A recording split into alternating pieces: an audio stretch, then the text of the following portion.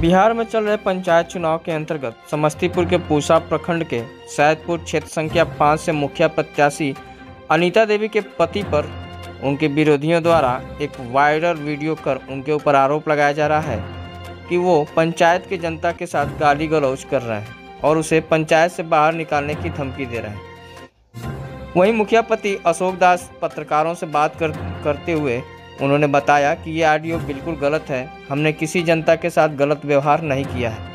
ये audio viral करके हमारे प्रतिद्वंदी हमारे छवि को खराब करना चाहते हैं, ताकि हम चुनाव हार जाएँ। लेकिन हमने जो जनता के लिए काम किया है, वो जनता जानती है। और हमें जनता पर पूरा विश्वास है। जनता इस बार भी हमें भारी मतों से विजयी बनाएगी। और क्या कुछ कहा? मुखिया प्रत्याशी के पति ने, आप भी सुनिए। चुनावी मैदान में फिर दूसरी बार खड़ी हुई हैं। आपको जनता का कितना सराह मिल रहा है इस बार? बहुत सारा समय मिल रहा है। इससे पूर्व में जो मुखिया जी सब थे गिनती में नहीं आते थे। आज जो भी विरोधी हैं कहते हैं जो हमारे अनिते देवी से टक्कर है। तो आप पाँच साल पहले मुखिया रह चुके हैं। अपने पाँच सालों में क्या क्या कार्य आपकी वाइफ की हैं वो बारे में बताएँगे। हमारी पाँच साल मुखिया बहुत सारे काम किए हैं जो किसी बाढ़े में है सभी को पन्नी वितरण करना भोजन करवाना जैसे वृद्धा पेंशन है उनको पास करवाना स्टाफ को बुलावा करके। कोरोना जैसी महामारी में कितना आपको जनताओं के लिए काम किए जनता के लिए मास्क मास्क का वितरण करवाए हैं साबुन का वितरण करवाए हैं उसके बाद क्या कहते हैं सैनिटाइजर करवाए हैं। यहाँ सेंटर खुलवाए हैं जो बाहर से लोग सब जो आए हैं उसको स्कूल में भोजन का व्यवस्था करवाए हैं। ये सब किए हैं। बाढ़े वाला में देखिए जो आज तक के इस पंचायत में अभी तक माने कोई ऐसा जो हम व्यवस्था काम कर दिए भोजन का काम करवाने का काम कर दिए अभी तक कोई मुखिया जी नहीं किए जो हम काम किए अभी क्षेत्र दौरा में भी आप हैं जनता का क्या रुझान लग रहा है? जनता का रुझान है स्पष्ट। जो मुखिया जी जो हैं सो ही रहेंगे। अच्छे काम किए हैं। आज तक के ज, जैसा ही काम किए हैं कोई मुखिया जी दोबारा आपको मौका मिलेगा। जी जी। हाँ दोबारा मौका मिलेगा। है कि मैं गर्म मिजाज का व्यक्ति हूँ। विरोधियों का काम है आलोचना करना। मैं अपना काम कर रहा हूँ।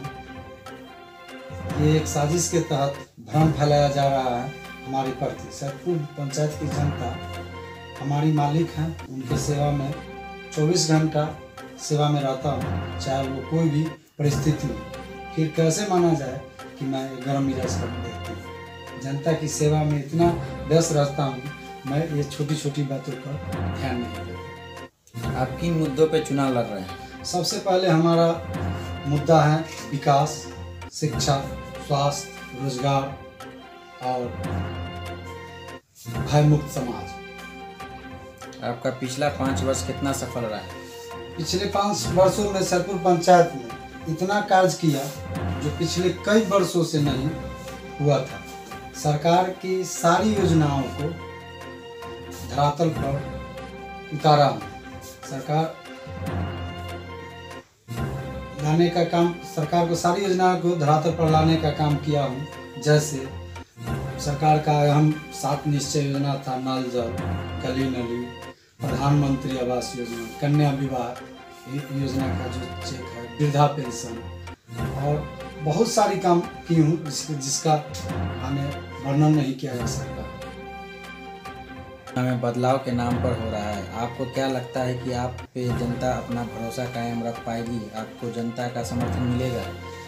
मैं इतना कार्य किया हूँ कि इस पंचायत के लिए पिछले पाँच वर्षों में में की जनता को पूर्ण सैदपुर की जनता के पूर्ण विश्वास है कि अगले पाँच वर्षों में अगर मैं जीत कर जनता के विश्वास से आता हूँ तो मैं सारे विकास कार्य को फिर से धरातल पर लाने का काम करूँगा।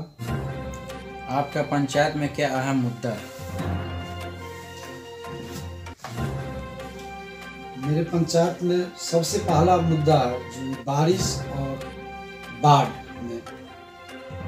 जो किसान है यहाँ के, वो दो तीन चौर है मेरे में, जैसे धंधरा है सोन, सोनबरसा है, चतरा चौर है। उसमें जो है, सो पानी आता है, उसका निकलने का कोई उपाय नहीं, उससे पिछले साल भी गेहूँ का खेती नहीं हुआ, इस बार भी नहीं हो रहा है। पहला मुद्दा है जो हम जल निकासी काम करेंगे। एक और इस है, दूसरा है जो पंचायत सरकार भवन, जो ब्लॉक तक के हमारे आदमी जाते हैं, उसका हम चयन भी करवा चुके हैं, सिर्फ़ पहला जैसे उसको पंचायत सरकार भवन बनाएँगे जो उसको ब्लॉक नहीं जाना पड़े और यहाँ पर काम है। तीसरा है, जो सांसद विधायक, एक नंबर वार्ड में जैसर महतो के घर से जो उत्तर की सड़क, जाने वाली सड़क है, उसमें पुलिया नहीं हुआ मान्य कराना है। सांसद, विधायक सभी उनका अथी करके चले गए। लेकिन मैं जीतूँगा ये पाँच काम सबसे पहले करूँगा मनरेगा के माध्यम से, जो ये अहम मुद्दा। आपका एक वीडियो वायरल हो रहा है जिसमें आप किसी व्यक्ति को धमकी दे रहे हैं पंचायत से बाहर निकाल देने की। इसमें देखिए, अब वो क्या कह रहे हैं, क्या नहीं कह रहे हैं, अब क्या सच्चाई है, नहीं है।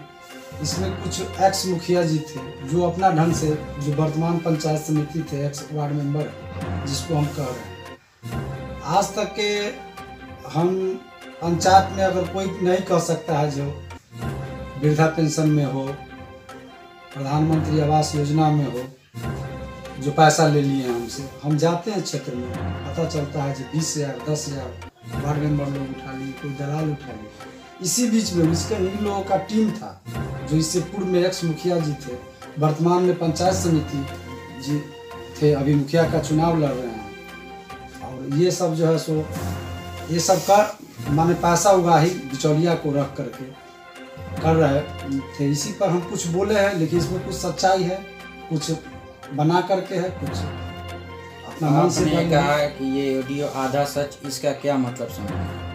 भाई इसका तो देखिए तो कोर्ट में जाकर के देखिए ना जब ऐसा वायरल होता है पता चलता है जो जब इसको साबित करना होता है तो वहाँ फिस हो जाता है। जीतने के बाद आप कौन सा पाँच पाँचवा काम पहले कीजिएगा सबसे पहला काम तो मेरा जल निकासी रहेगा। उसके बाद पंचायत सरकार भवन तीसरा काम है जो वही रोड वाला जो एक नंबर वार्ड में कहे हैं जो सांसद विधायक को सबको देखे हैं। और मनरेगा से पहला काम हमारा पुलिया निर्माण और रोड का काम रहेगा। एक भिराड़ी पर है वो है। आपका कौन सा छाप है? मेरा छाप मोतियों का माला है मेरी पत्नी का। प्रमाण संख्या क्या है? एक पर है। आप जन आप अपनी जनता के लिए क्या संदेश देना चाहिएगा हमारे चैनल के माध्यम से? जनता को तो यही कहेंगे जे जिस जिस तरह हम पाँच साल काम किए हैं आपको लग रहा है और पिछले जी मुखिया जी सबको भी देखे हैं और हमको भी देखे हैं। अगर हमें जनता हम पर विश्वास कर, करेगी तो हम उससे भी बेहतर करके दिखाएँगे जो आज यही नहीं पच रहा है जो मुखिया लोग सब हैं। जो हमसे। किस पिछले मुखिया को तो गिनाने के लिए। नहीं कोई काम है जो कह दे जो हम पाँच वर्षों में, दस वर्षों में ये काम किए हम तो लिख करके, पटल पर लिख करके दे दिए हैं और जाँच करवा लिए उनसे जो हम काम किए हैं कि नहीं। और उससे भी बेहतर काम करेंगे। तो जनता हमको आगे जिताती है मान सम्मान। सबसे पहला नंबर मेरा मान सम्मान। भयमुक्त समाज को।